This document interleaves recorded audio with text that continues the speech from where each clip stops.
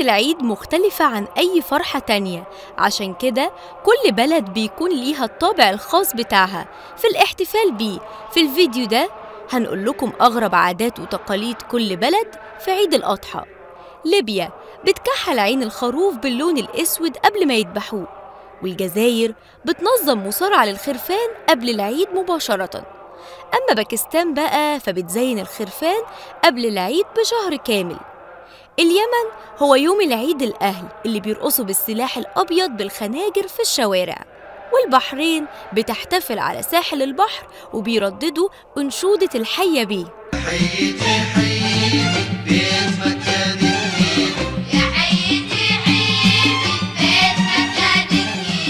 طب تعالى أقول لك إيه هي الحية بيه؟ دي عبارة عن حصيرة صغيرة مصنوعة من سعف النخيل وبيتم زراعتها بالحبوب زي القمح والشعير.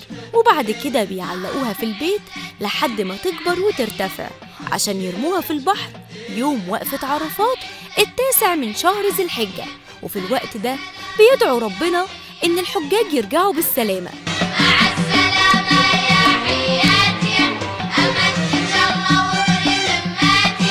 السعودية معروفة بموسم الحج.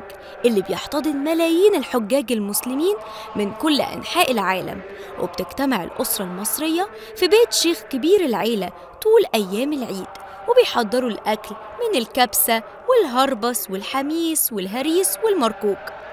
في مصر بيجهزوا للعيد إن الصبح مثلا بتكون صلاة العيد وبعد ما الصلاة بتخلص بيذبحوا الأضحية وفي بعض الأماكن بتحني الخروف قبل العيد بأسبوع. والعادة المنتشرة في القرى والمحافظات هي تطليخ الإيد بدم الأضحية بعد ما بيتم ذبحها وبعد كده بيطبعوا الكفين على واجهة المنازل أو على السيارة وده دليل يعني إن الأسرة ذبحت الأضحية. أما المغرب بقى فمن عادتهم إن الأشخاص بتلف بجلد الخروف بعد ما بينضفوه وينشفوه وكل الأطفال بتقعد تتفرج على المنظر وبعدها يروحوا لعيلتهم عشان يتجمعوا ويتصوروا مع بعض وياخدوا العيدية.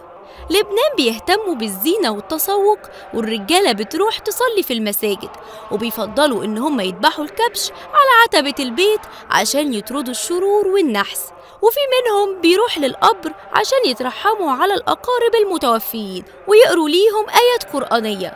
قولوا لنا في الكومنتات إيه أغرب عادة بالنسبة لكم؟